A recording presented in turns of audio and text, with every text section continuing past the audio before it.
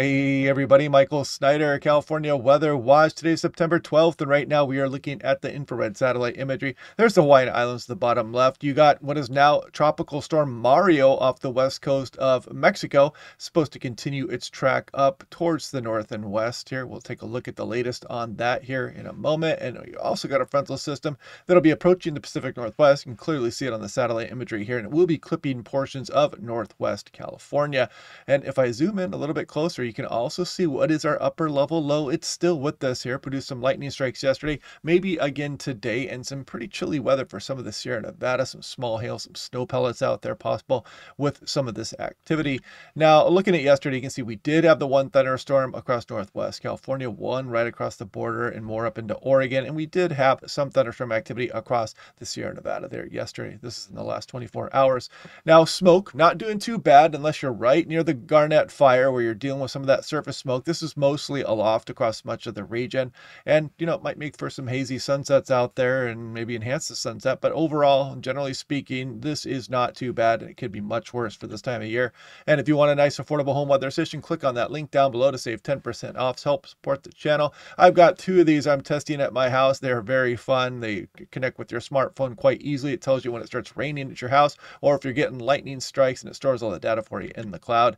Now, there's Mario right right here. Again, you can see the Hawaiian Islands, there's Baja, and there's the state of California to the top of this map. And so Mario's right there. And also, this is what they're predicting. Tropical storm as we go on in through maybe Tuesday morning. But probably the biggest impact from this storm is going to bring some moisture, and it's part of the monsoon moisture that will be coming up towards the state of California. This could also increase some rainfall for portions and maybe some wave action here for some portions of Baja, maybe Cabo there as well. So keep that in the back of your mind if you're traveling down towards Mexico or some of the other resorts down the west coast. Also, a little bit of a tropical storm watch right now is in effect.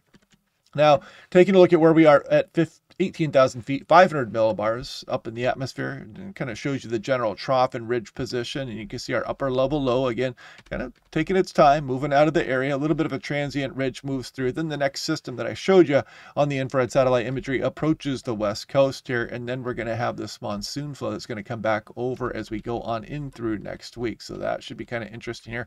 Shows some potential significant rainfall here across Southern California, especially for this time of year. So we'll be watching that closely on a day by day basis. More on that here in a moment. Looking at 500 millibars, 18,000 feet, you can kind of see that frontal system. We back that up, and this is the next frontal system kind of rolling in right there.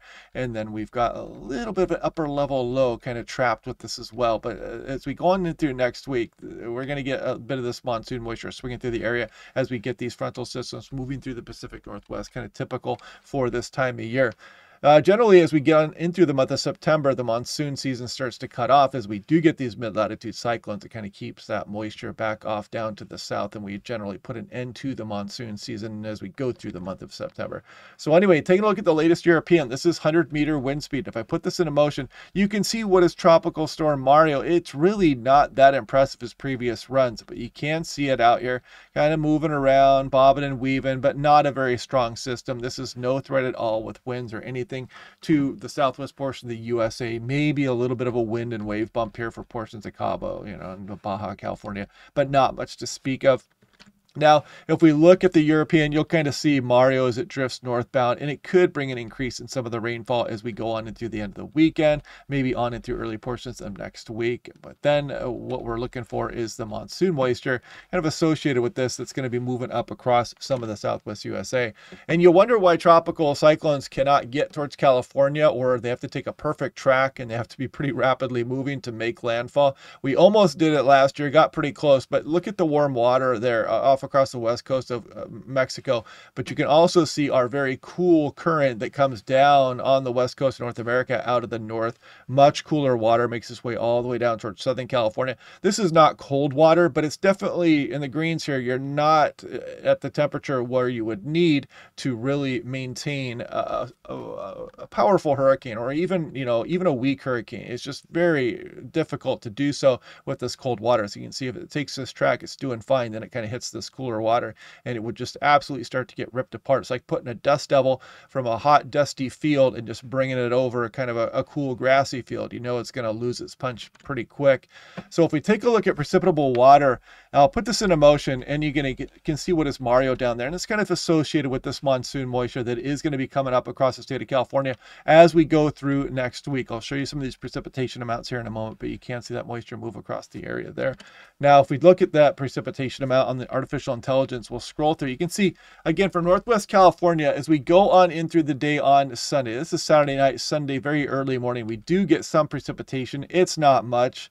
Um, yeah, fairly weak frontal system here, kind of early in the season. But then we look off towards Tuesday night into Wednesday. So there, let's go through Wednesday afternoon. There you can see some of this precipitation starting to come across the transverse range, peninsula range, maybe some of Southern California as we go through the day on Thursday. See those numbers start to bump up a bit there, and we go through Thursday night into Friday. So yeah, there could be uh, some significant rainfall here. We got to watch this closely. It is still a ways off into the extended forecast, but I noticed the National Weather Service offices were also starting to mention it as well. So starting to gain a little bit of confidence there. Now, taking a look at the European ensemble mean, let's scroll through here. This is yesterday afternoons, and you can kind of see it does have that signal as we go on in through the mid portion of next week, starting to bring some of that monsoon flow back up into California. Uh, looking at total snow 10 to 1 ratio, just kind of showing you that we do still have some of that stuff going on across the higher elevations, just kind of giving you a heads up that it is pretty chilly there. A couple thunderstorms may pop off as we go through the day today, Friday, uh, September 12th. Now, here we go with daily two meter maximum temperature. I'll put this into motion and you can kind of see as we go through tomorrow, Sunday, Monday, we start to warm up a little bit on Monday. Tuesday, even more. Look at the mid 90s return. You get some mid 90s showing up for interior portions of Southern California as well. Coastal regions in the 70s, maybe towards 80 degrees also. Not too bad. I mean, not excessively hot, but we do start to warm up a bit as we go through next week and then maybe cool back down after that. We'll see how that goes. 6 to 10 day above normal, really for much of the lower 48 here, including the west coast. And precipitation, you can see uh, the Climate Prediction Center is picking up on that monsoon moisture here as we go through the mid portion of September. And there's the 8 to 14 day as well. Actually, the entire lower 48 is prog to be above normal temperatures here, or at least the chances for it are above normal. And then we go to the 8 uh, 14 day uh, precipitation as well. And you can see California is still included in that. So not bad.